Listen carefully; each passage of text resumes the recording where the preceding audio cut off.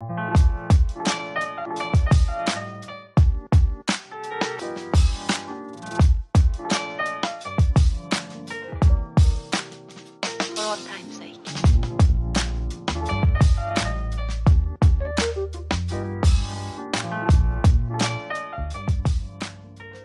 have a very special pen I want to show you today.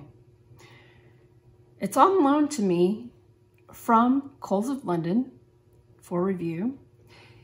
And it's a pen that I have been lusting over for some time.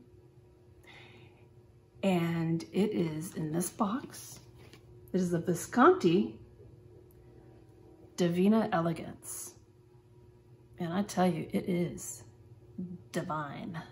First time I ever saw this pen in person was at uh, the Dromgoole's Pen Show back in November. Uh, John Lane was um, at the table and uh, he was telling me about the pen and how gorgeous it is and I agreed of course. And so the pen, I got to see it, it was like in a green color and then it was in this color called the Bordeaux.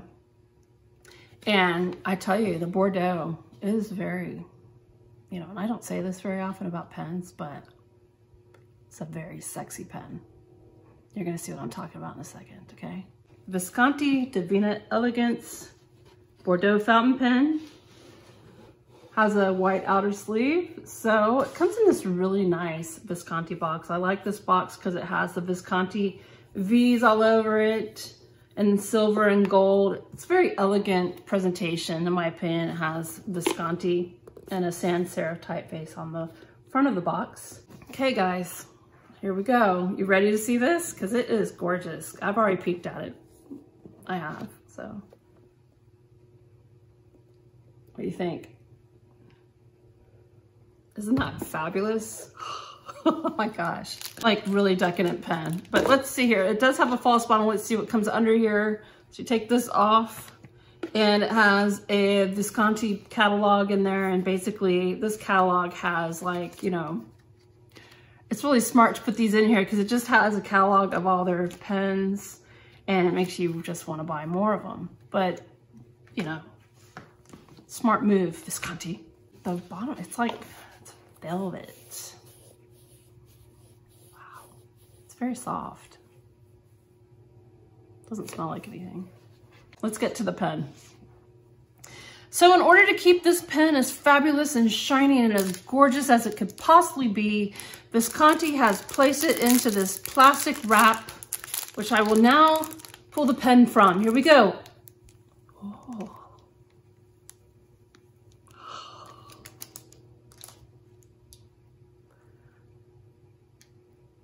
Look at this. Oh my gosh. I'm so sad because I have to send it back. Hold on, give me a moment. Give me a moment.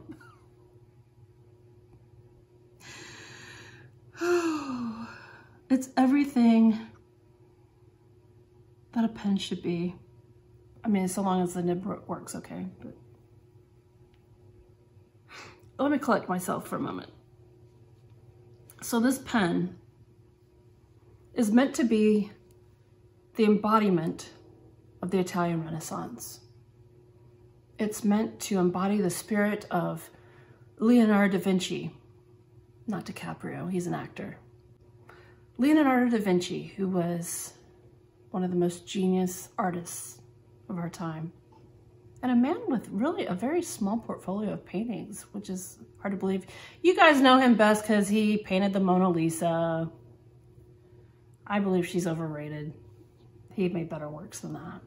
The most important thing that I find this pen to embody is the rule, or uh, you might know it as the golden rule. I learned it as the golden ratio, which is pretty much paintings possess this type of movement within uh, that your eye moves around, your eye is drawn to in a painting. And basically it's in the shape of a spiral. And so it has, you know, a bunch of information here and it pretty much breaks apart as the painting composition expands, right? Well, this pen is meant to embody that idea. That's what accounts for this spiral shape. So when you turn the pen, it does have this spiral effect. But the spiral shape is meant to mimic the golden ratio. But I like it more because visually, there's a lot of movement involved with this pen. Just when you pick it up and see the light reflecting off of the curvature of the surface, it is just gorgeous and decadent. Might I add, all of the metal you're seeing here, even mixed here with this beautiful precious resin, sterling silver. Sterling silver, I don't know if that's sterling silver. This is uh, the fill mechanism right here. Sterling silver, gorgeous. Even the right here, the appointments, all of it, sterling silver. So, I mean, it's just, you know, it's like having a really expensive piece of jewelry. I'm to tell you how much this retails. Uh, normally it would retail for $11.95. Yes, that's 1,195 US dollars. But you can find it at some retailers for $956. $956. That's like, well, it's less than my mortgage. It's way more than my car payment. Well, you know, you could sit there and weigh the amounts inside of your mind of uh, how much rent you need to skip or if you should skip that car payment. No, I'm just kidding. Don't go into debt over a pen. That's silly. But $956. So it's definitely something you could save up for, uh, which is what I would do. But you know what? Forget it. Let's not talk about the price anymore because, you know, it's it's expensive. But let's take a look. I don't know if you could see the light reflecting off of the resin. So the Bordeaux, it's kind of like this dark purple, but in some places on it, the light reflects off of it and it's like it glows. So it has a an iridescent or incandescent type of glow to it. But my goodness, it is so beautiful. One of the things I love about Visconti pens is the clip is spring loaded. So it doesn't take a whole lot to move it around and it is just I just, I can't stop staring at how gorgeous it is. It's like mesmerizing, isn't it? Some of the Homo sapien pens feature it, and this pen does have it, and that would be the hook safe lock closure of the cap. So it pretty much has, so there's kind of this, if you push in a little bit, you can feel this kind of spring loaded type of situation in there. And so you push it in and turn, and if you look closely here, it doesn't have threads like a regular pen, but it has this where you push the pen into it and turn it, and it takes like half a turn. So this is actually really nice. Like if you're, you need to take this off with one hand, you could just, you do it very easily. Well, maybe I can't, but you can turn it. So turn it like that and you could get your cap off. Now I do love that the section matches the rest of the pen. The pen does feature an 18 karat gold 1.5 stub nib. There's the feed. So that is quite nice. Now I'm gonna put the cap back on and I'm gonna show you the filling system because the filling system is really interesting as well. So the filling system is a, it's a, it's a pull and turn piston filling system. So it's a little different than what I've ever used. Everything I've ever used, it has this knob up here that you turn and it locks and all that stuff.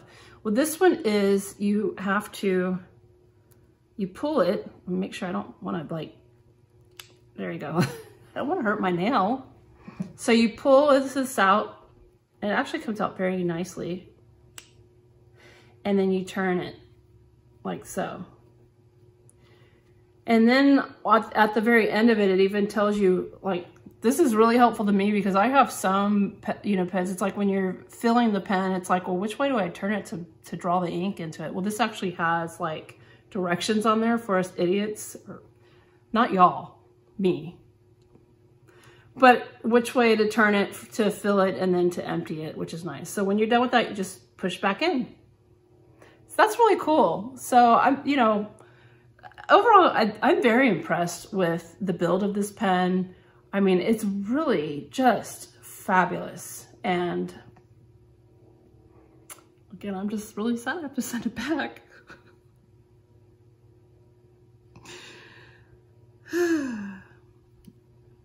I don't really want to send you back. In fact, I threatened Colesland and I said, you know what? You might not get this back. I might keep it. What are you going to do? Come to Texas and take it from me? As we like to say here, and we've got a flag with it on there, it says, come and take it. I mean, I'm going to send it back because I'm, you know, I'm, I'm, I'm not going to pull that stunt. That's not cool. but I want to. All right, all right. Well, the next thing I'm gonna do is I'm going to ink this gorgeous pen up and take it for a test drive and let's see how she writes. Let's see how this gorgeous $956 pen writes and let's see if it's worth saving up that money for.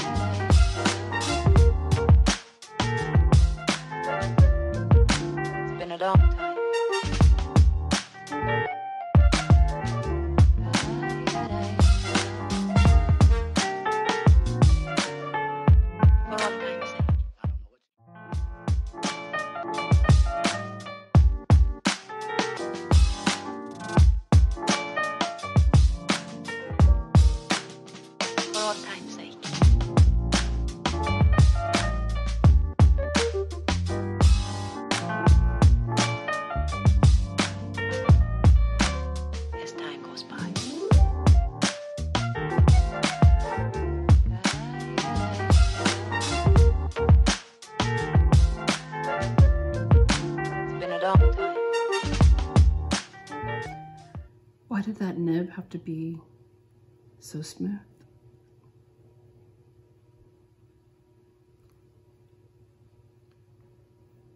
It's a smooth writer. It was glorious. my goodness. I mean, would they send me to jail, like, if I didn't return this, or... Well, I might have to save up for this pen. And I do like the Bordeaux, but I've, I've seen the green in person, and I think that's, I would probably get the green. But I like this. But hey, how much of, how great of a ink pen match was this freaking Lievens Kardinaal Paars? I don't speak Dutch, so, but this Akkerman ink is, I mean, right? It's perfect match. So if you were to get this pen, I highly recommend the Akkerman's um, the Akkerman Dutch Masters ink. But yeah, I mean, guys, this is a total luxury. It was a complete pleasure to be able to try this pen out and review it for you guys. Uh, just for sheer enjoyment, right? I mean, remember back when I had the, the Montegrappa last summer, the uh, Auto Extra Zephyrus? That was like a $3,000 pen. That was a total pleasure to have. And I'd have to say this is up there with one of those, you know, just a very extravagant pen. Thank you, Coles of London, for this opportunity. And thank you for joining me for this look at the Visconti Divina Elegance. It truly is elegant. That's all I've got. Thanks for watching. And that's how the ink flows.